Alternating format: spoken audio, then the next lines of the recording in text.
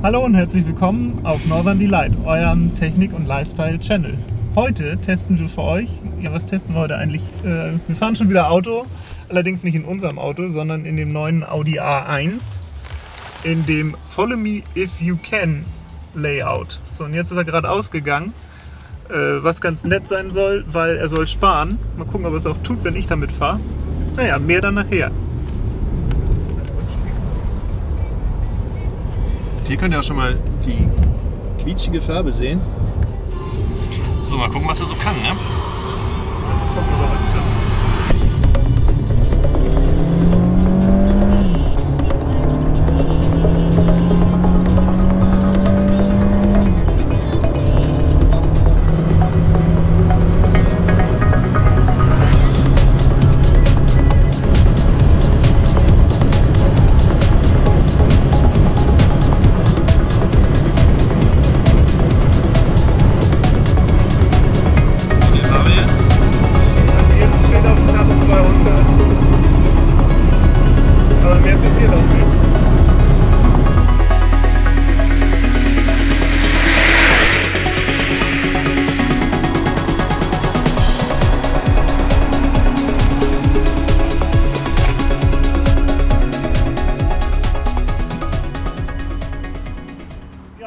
Heute geht es um das Thema Auto und ja, anscheinend äh, hat Holger zumindest gesagt, bin ich dafür zuständig. Ich weiß gar nicht warum eigentlich. Ja, und heute wollen wir euch den kleinen Audi zeigen und zwar den A1. Steht hier in ganz klitzeklein. Er ist ja auch ein kleines Auto. Und zwar haben wir äh, von Autohof Reimers äh, ihm zur Verfügung gestellt bekommen. Es handelt sich um den äh, TFSI-Motor mit 122 PS, also der 1,4 Liter Maschine. Ja, und äh, Name ist Programm. Und zwar hier unten steht's Follow me. Und dann steht da unten, was man gar nicht sehen kann, was eigentlich auch gar nicht steht, If you can. das haben sie einfach noch vergessen, das fehlt. Ja, weil er ist deutlich, durchaus recht sportlich unterwegs. Zwar nicht zu vergleichen mit meinem kleinen Bart, aber okay. Der hat ja auch mehr PS. Ja, Bart hat auch ein klein wenig mehr PS. Auf jeden Fall hat er einen größeren Kofferraum durchaus. Und schick für den nachfolgenden Verkehr, wenn man mal irgendwo liegen bleibt, was auch mit einem Audi durchaus passieren könnte, hat man hier so klitzekleine rote LEDs noch drin. Ich weiß gar nicht, wozu das ist. Das ist wahrscheinlich, wenn der Warnblinker an ist. Und wenn man mal den Schmuck der Gattin transportieren will, hat man hier noch ein kleines Geheimfach eingebaut. Was man mir schon gesagt hat, kann man sich auch sparen, dann hat man nämlich noch ein bisschen mehr Kofferraum. Ja, Rücksitze kann man mit Sicherheit auch umlegen, wenn man das möchte. Einen großen Kopf darf man nicht haben, sonst sitzt man da schon an der Klappe hinten dran. Da hat es auch einen Tankdeckel, das muss man auch betanken, dieses Fahrzeug. 17 Zoll Leichtmetallfelgen. Jetzt nicht so meine Wahl, ich würde andere nehmen. Viel größer müssen sie sein, größer. Ja, und so sieht er denn drinnen aus. Grau in Grau. Jetzt hat man mich gerade gesehen. Das ist doof. Das ist nicht doof. Und hört sich nach Auto an. Klappert nix.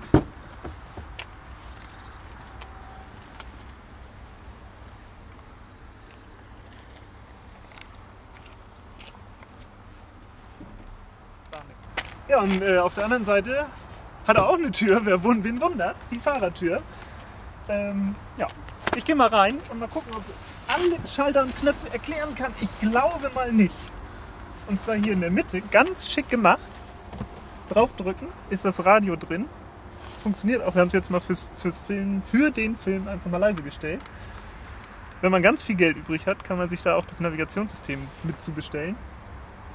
Ja, und dann hat es steht jetzt leider ein bisschen verkehrt, das Lenkrad. Das schneiden wir nochmal.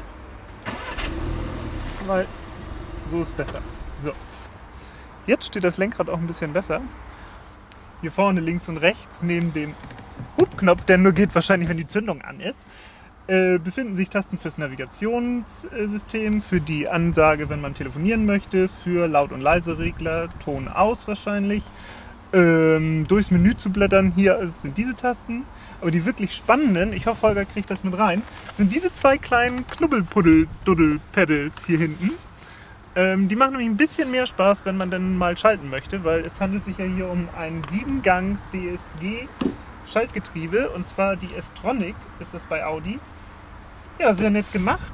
In der Mitte befinden sich natürlich die Bedieneinheiten für Radio, falls man das nicht am Lenkrad bedienen möchte. Für die Klimaanlage, für den sogenannten Muschi-Toaster, den hat man hier auch. Hallo? Ja, das nennt sich Muschi-Toaster oder für andere auch Sitzheizung, je nachdem. Also bei uns wäre es die Sitzheizung aus Ermangelung an.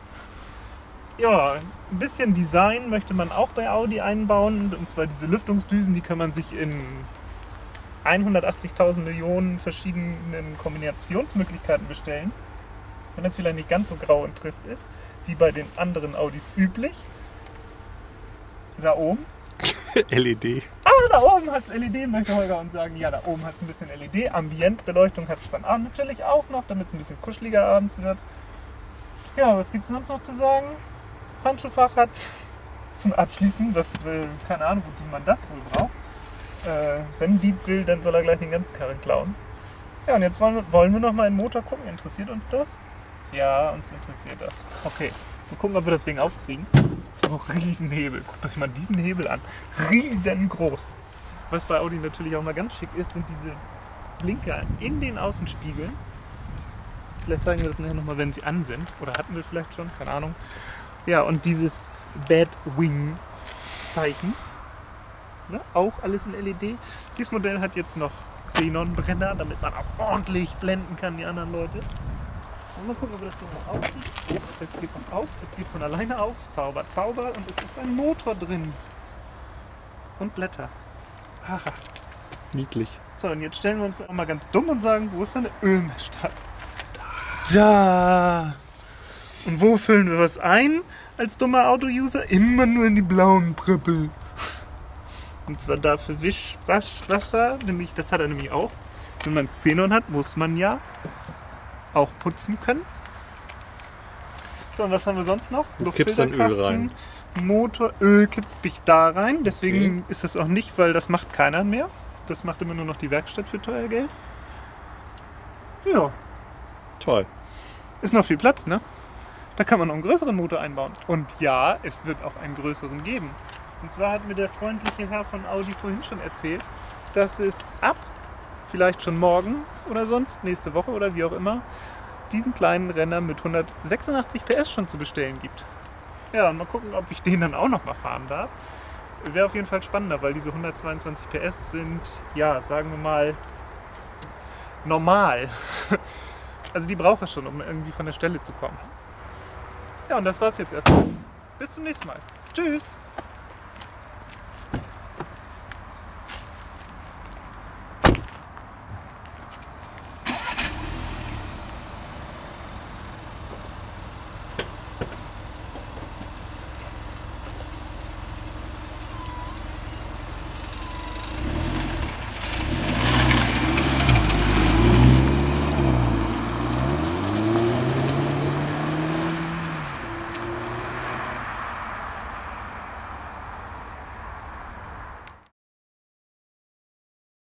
Herzlich willkommen auf Northern Delight, eurem Technik- und Lifestyle-Blog.